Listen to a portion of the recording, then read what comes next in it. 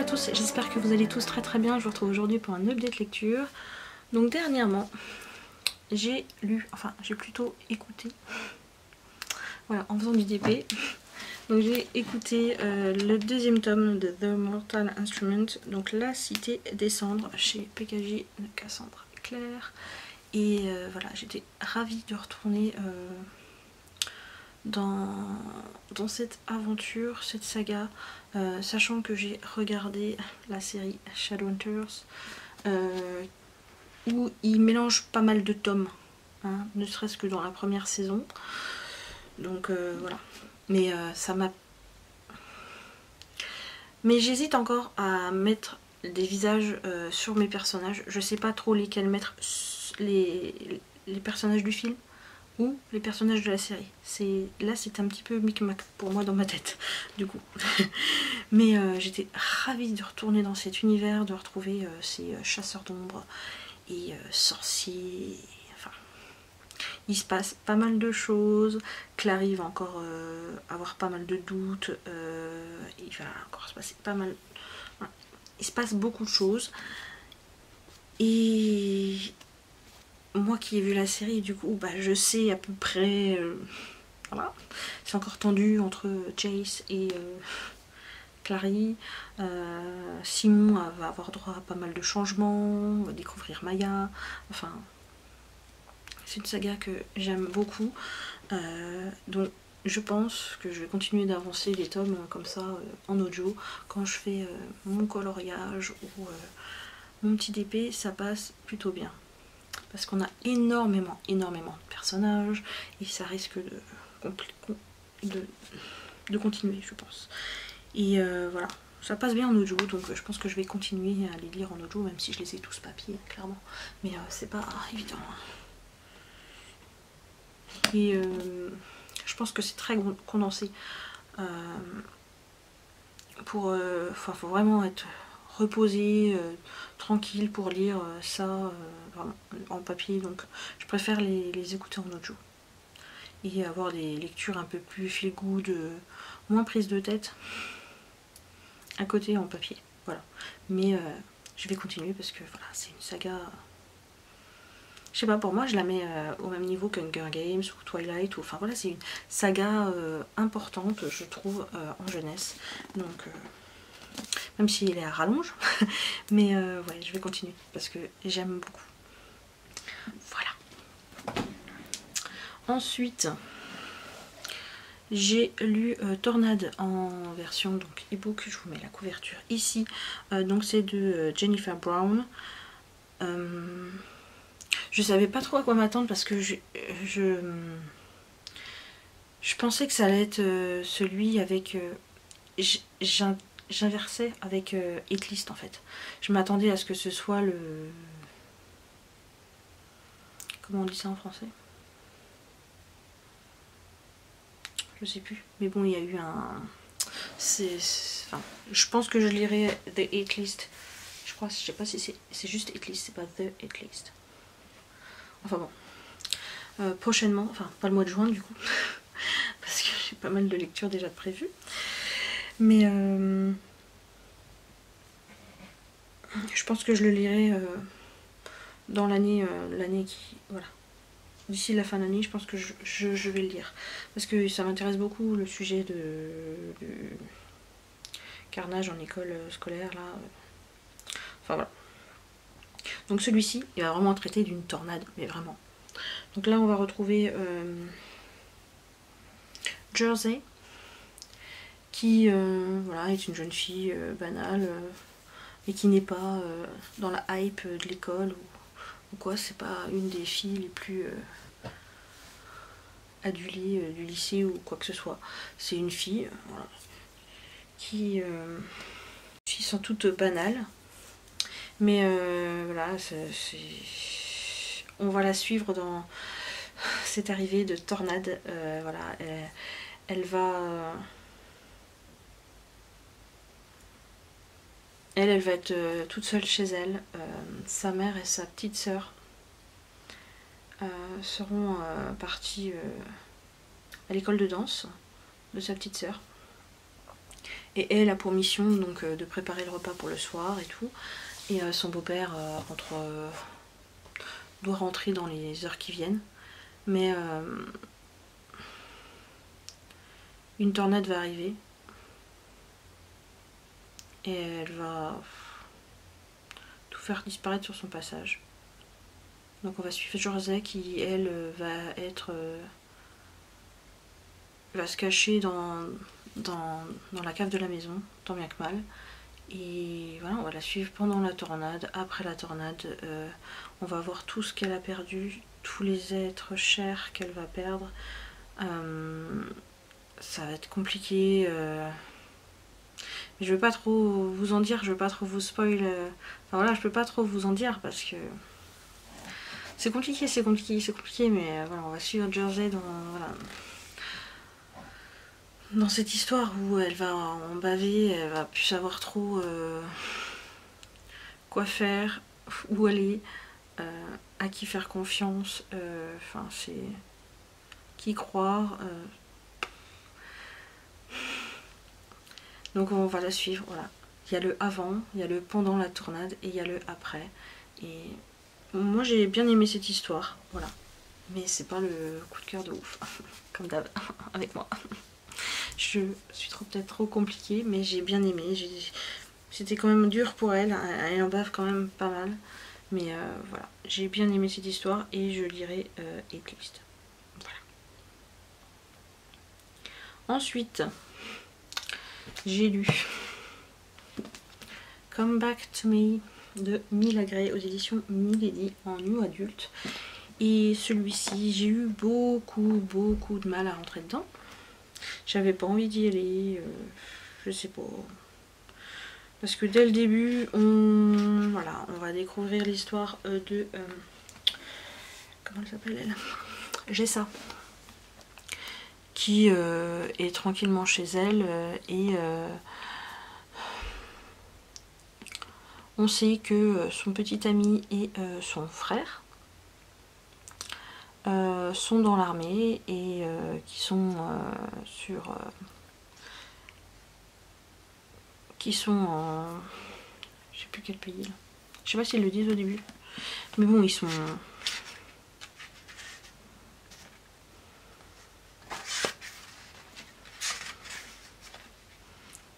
Puis il les remerciements au début aussi, ça, m'a paru un petit peu bizarre. Mais euh, voilà, on sait qu'ils sont en mission. Et là, euh, elle, est en train de faire la vaisselle quand elle voit à la fenêtre que euh, l'aumônier arrive avec son, costume militaire. Donc elle sait que une mauvaise nouvelle arrive mais elle ne sait pas lequel c'est. Si c'est son frère ou si c'est son petit ami. Donc euh, voilà, dès le départ, on sait qu'il y a quelqu'un qui meurt. Dès le départ. Et euh, tout le reste de l'histoire, ça va être euh, ça. On va retrouver Jessa avant, à l'école, avec son frère et avec comment elle a rencontré. Comment elle a rencontré. Non, c'est le meilleur ami de son frère, son copain. Mais on va savoir comment ils se sont mis ensemble, comment ça s'est passé. Et, on va enfin savoir lequel des deux est mort. voilà. Donc j'ai mis du temps avant de rentrer dans l'histoire quand même. Euh, et j'ai bien aimé euh, sur la fin. Le début j'ai eu beaucoup de mal. J'avais pas forcément envie d'aller dedans. Je sais pas si c'était pas le moment pour moi. Mais, euh, mais c'est une histoire... pour moi, il n'y a rien de... Voilà. Rien de fifou. Je, suis insensible.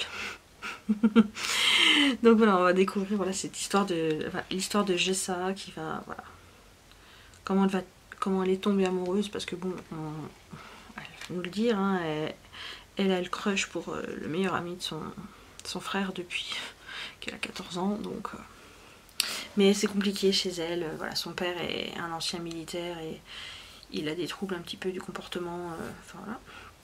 Donc c'est un petit peu bizarre. Mais voilà. J'ai eu du mal au début, j'ai bien aimé la fin. Et même si... Euh, voilà. Enfin bon bref, si jamais vous l'avez lu, on pourra en parler. Mais je peux pas, je peux pas en dire plus. Voilà. Alors ça, c'est beau. Ensuite, j'ai lu quoi? Bah, bah j'ai lu, euh, j'ai enchaîné le tome 11 et le tome 12 de LDK. Bah ils sont quelque part... Euh, non, ils sont déjà en carton, ils sont déjà partis, je crois. Je sais plus. Enfin bon. J'étais bloquée. J'avais plus le, j'avais pas le 11. J'avais les tomes d'après. Donc, euh, quand Doudou a, enfin pu aller faire les courses dans un supermarché un peu plus grand, il avait plus la queue devant. Il a pu y aller et il me l'a trouvé. Et bon, bah, je l'ai lu dans la journée. Et il a été revendu euh, le soir. il m'a fait Tu l'as déjà lu Bah oui, je l'ai déjà lu et je le revends. Parce que je le redirai pas. il tire un petit peu la gueule, mais bon, voilà quoi. Je veux dire. J'ai encore du mal avec cette saga. Je vais la lire, franchement, je vais la lire. Mais, euh, enfin là, je sais pas jusqu'à quel tome j'ai. Peut-être 15, 14, 15. Je sais pas trop jusqu'à quel tome j'ai. Mais j'ai vraiment du mal avec euh, ces personnages. Enfin, ça, ça, ça va bien, d'un coup ça va plus, et puis d'un coup il faut pas qu'on se montre, et puis d'un coup il y a toujours euh, Anguille sous roche. Lui il est bizarre, quand c'est pas lui qui est bizarre, c'est elle. Donc, euh, oh là là, ils me sortent un petit peu par les yeux ces deux-là. Donc, je sais pas trop si j'arrêterai ce, genre de, de manga. Voilà, les sojo, je pense que je vais peut-être arrêter les sojo parce que je... Voilà. Je vais terminer celle-ci. Je préférais 100 000 fois euh, l'autre saga, euh, Is the Beast. Voilà, celle-ci, ça a été. Mais là, non, j'ai vraiment trop du mal. Donc euh, je vais la continuer, mais enfin je comprends pas tout cet engouement qu'il y a eu sur cette saga. Voilà. Et donc hier, je l'ai terminé hier, celui-ci, j'ai terminé donc euh, La légende des quatre, donc le tome 2, Le clan des tigres de Cassandra O'Donnell. Et voilà, je savais pas trop... Vous m'auriez dit que je l'aurais lu euh, là, je l'aurais pas cru. Parce que bah il était dans ma bibliothèque et je, je savais pas trop quoi lire après euh, Come Back to Me. Et je me suis dit non, pas de romance parce que voilà. Essayer de changer un peu de style. Donc euh, j'ai cherché, j'ai regardé, je voulais pas un truc trop gros ou machin. Donc euh, voilà, j'ai sorti celui-ci. Mais bon, je pensais que ça allait être lu beaucoup plus vite. Mais euh, pareil, j'avais pas forcément envie d'aller me mettre dedans. Même si j'aime bien l'univers, j'étais contente de retrouver les personnages. Mais bon, pour moi en ce moment c'est un petit peu compliqué de me concentrer c'est souvent que je suis pas très bien, euh, que j'ai mal un peu partout. Même assise, je suis pas bien, faut que je surélève mes jambes, faut que... C'est compliqué. Et euh, vu que je suis à la, maison avec, le, avec mon fils, euh, il faut que... Voilà. J'essaye de me concentrer sur ma lecture quand lui est à la sieste, mais bon, s'il y a le téléphone portable à côté, je me perds vite sur les réseaux. Enfin bon, bref. Mais bon, j'ai fini par le, par le lire et euh, bah, j'ai bien aimé. Euh, même si dans ce tome-ci, euh, il n'y a pas forcément une grande, grande, grande action, mais ça prépare vraiment le tome suivant où là, je pense que ça va péter. Ça va péter sec. Donc là, je vais vous rappeler un petit peu l'histoire de cette saga. Donc là, on est dans un monde où les humains ont complètement euh, il reste quasiment plus rien sur Terre. Euh, ils polluent tellement, ils, euh, voilà, ils, ils, sont malsains, il n'y a, rien à faire. Il y, a toujours, il y a toujours un groupe qui va partir en couille et qui, veut, qui veulent diriger, ils veulent, enfin voilà, ils veulent le pouvoir, ils veulent, voilà, ils veulent le beurre et l'argent du beurre. Mais donc il y a donc, il reste quelques humains, mais euh, ils sont entourés par des euh, yokai, donc euh, vous avez, c'est un petit peu des métamorphes, voilà. Donc il y a le clan des tigres, donc ils peuvent être bipèdes, hein, ils, ils, se transforment, donc vous avez les tigres, vous avez les rapaces, vous avez les loups et vous avez les serpents. Donc euh, le premier tome c'était sur la petite louve. Là ce tome-ci c'est sur les tigres. Le tome prochain ça sera sur les serpents. Et le quatrième tome donc ce sera sur les rapaces. Et euh, il y a quelques trucs où c'est pas forcément très très très plausible. Hein. mais euh, je rentre bien dans le truc. Et puis bon c'est du jeunesse, hein, faut... Mais J'aime bien j'aime bien, j'aime bien l'écriture de Cassandra O'Donnell. C'est fluide, ça avance bien. Euh, on s'attache au personnage. Là, euh, dans le premier, euh, il y a pas mal de rapprochements entre Bregan, le tigre, et comment elle s'appelle Comment elle s'appelle? Maya. Maya la louve. Mais là, Bregan, il, il dévie un petit peu, hein, donc euh, Maya, elle sait plus trop. Euh, mais euh, j'adore cette histoire où ce sont les héritiers des clans. Voilà, ils sont, pour la plupart, ils sont mineurs, hein, même tous mineurs. Mais ils,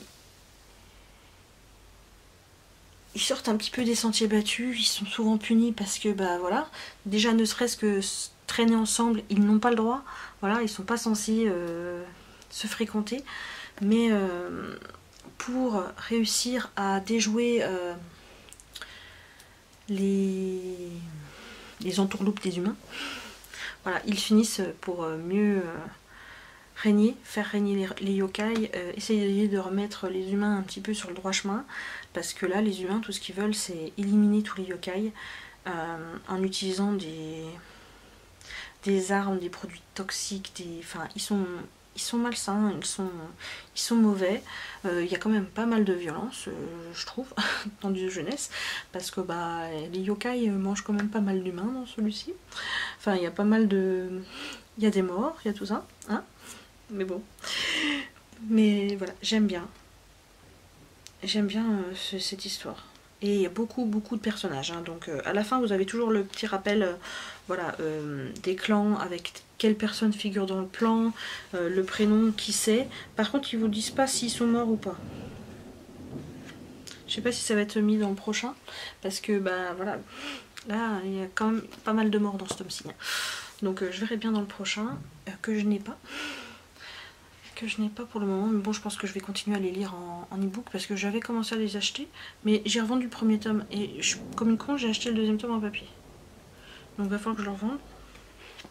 Parce que je vais pas le garder, j'ai pas le premier temps. Voilà, puis de toute manière, c'est pas. Je relirai pas.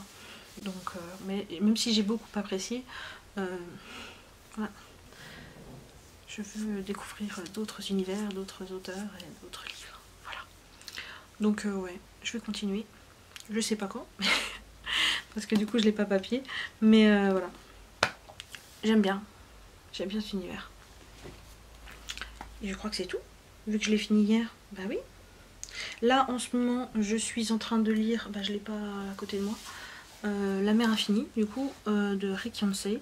Donc je continue une saga, c'est très bien. Et en audio, j'écoute le... C'est lequel? Troisième tome de euh, Twilight. Voilà, je continue... Ouais, c'est ça, hésitation.